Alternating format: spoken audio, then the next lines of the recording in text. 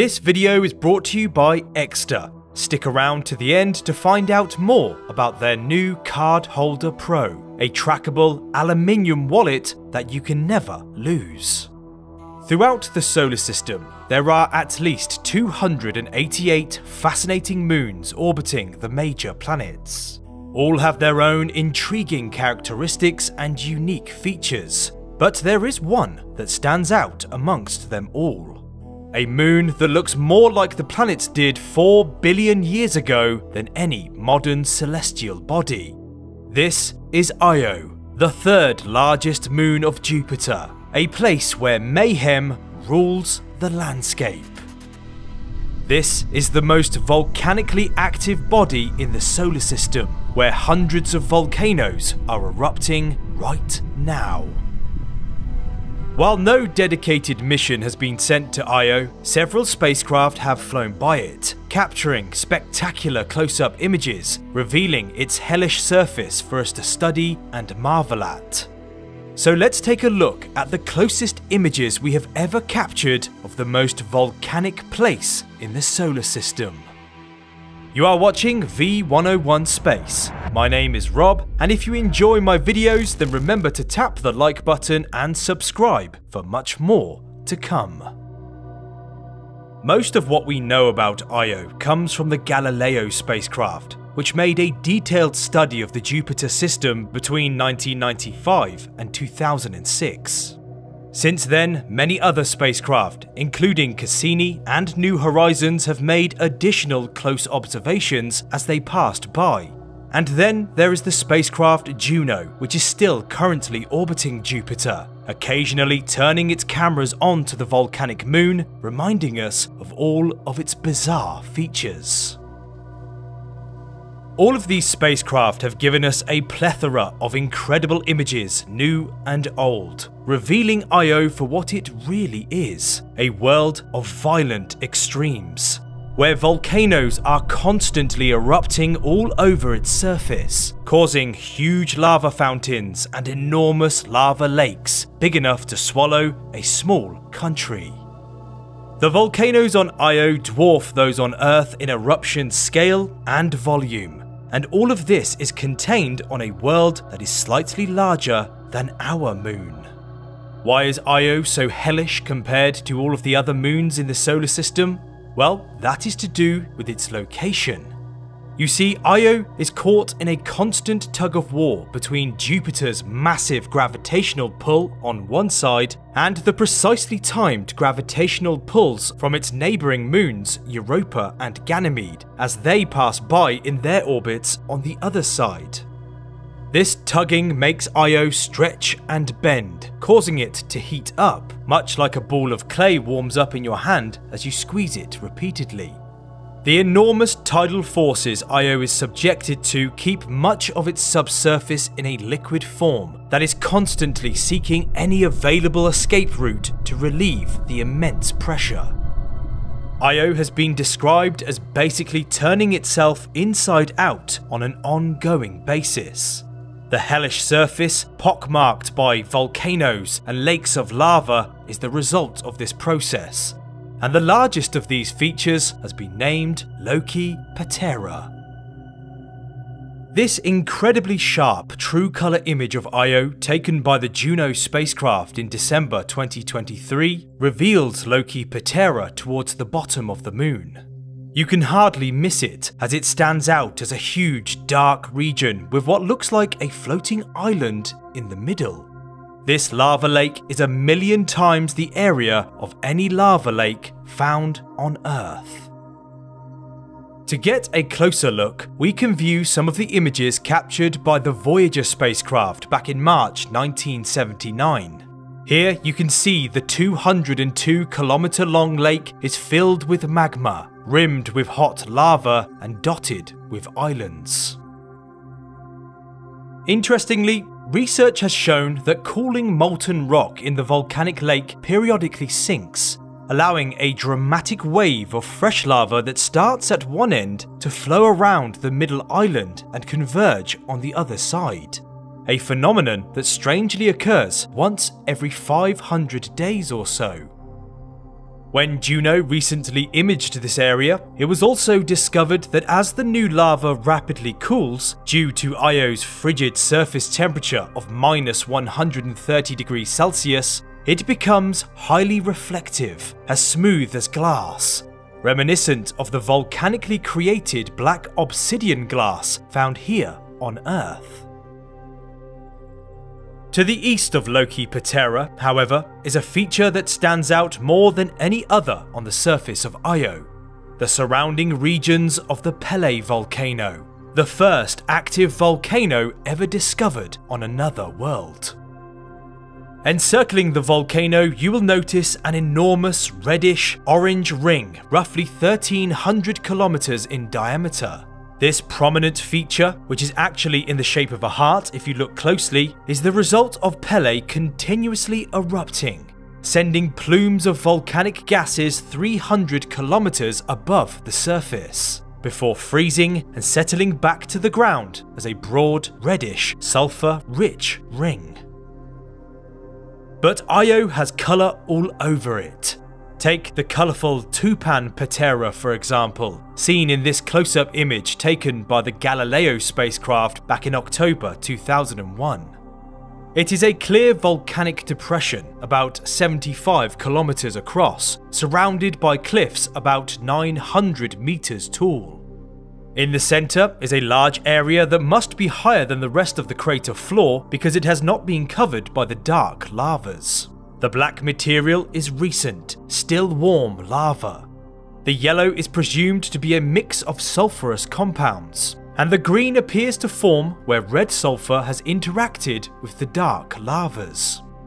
This surreal volcanic depression is a perfect example of the chemical reactions that are taking place all over the bizarre moon, resulting in magnificent colour patterns unlike anywhere else in the solar system. All of this chaos spread across the surface of Io creates the perfect conditions for a volcanic world like no other. And with an estimated 400 active volcanoes, it seems it was an easy task to capture close-up images of some of them erupting. This slightly blurry close-up image taken by the Galileo spacecraft in July 1999 reveals the volcano Prometheus from above as it erupted a broad, umbrella-shaped plume of gas and dust high into space. But in February 2007, we were treated to a spectacular view of an eruption as the New Horizons spacecraft was passing by on its way to Pluto. This stunning sequence of photos was taken over a period of 8 minutes and shows a plume of volcanic debris around 320 kilometers high drifting above the moon's fiery surface. The gas and dust were found to be erupting from the Tvashtar Paterae, a region which can be seen in this close-up image taken by Galileo in February 2000.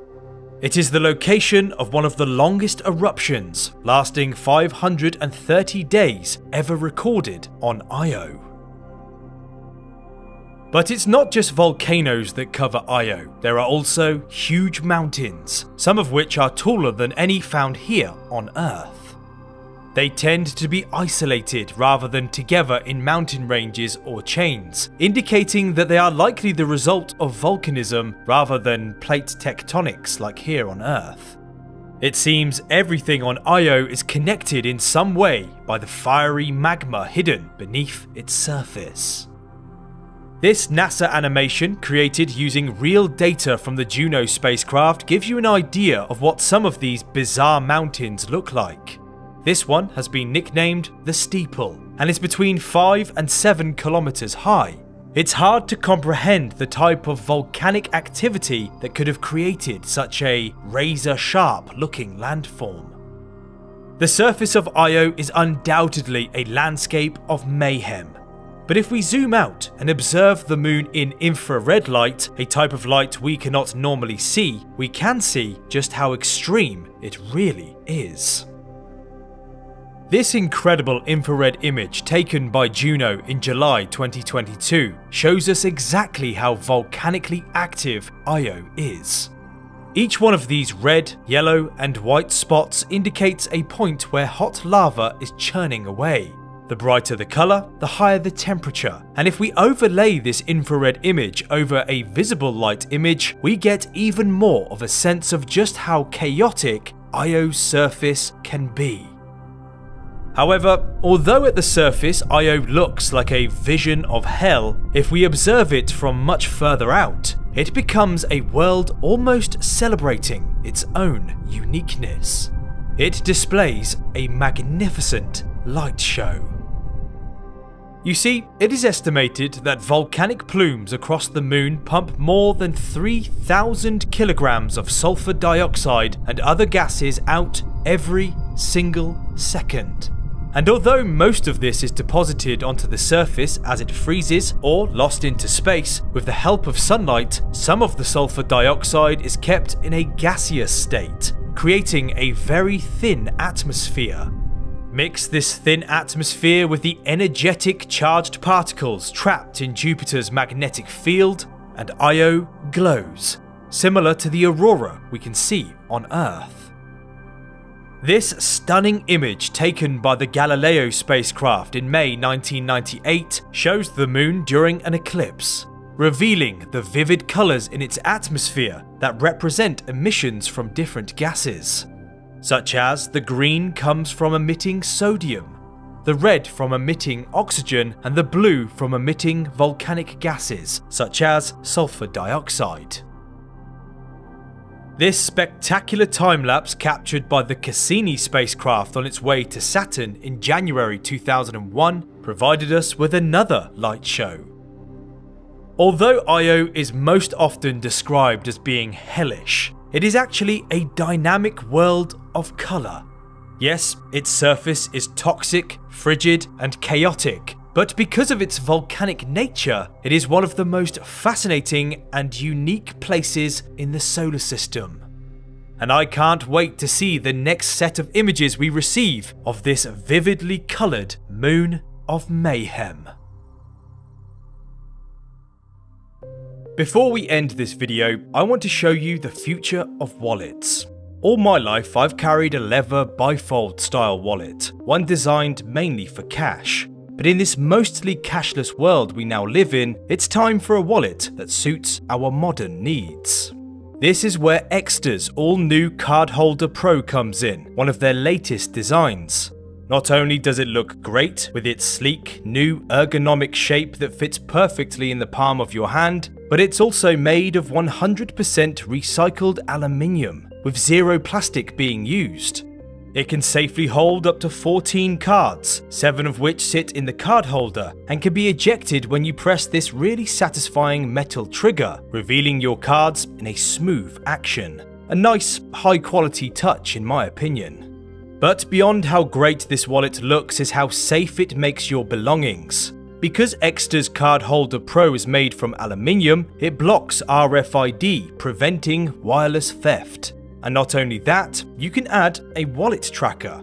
Called a Finder card, this ultra slim rechargeable tracking device sits nicely on the back of the wallet and links to your smartphone, meaning you can never lose it. So, if you want the future in your pocket, check out Ekster. Use my code V101SPACE and you can get an additional discount on top of any web sales that Ekster is currently offering. Click on the link in the description and head on over to choose your next smart wallet, which, by the way, comes with a lifetime warranty.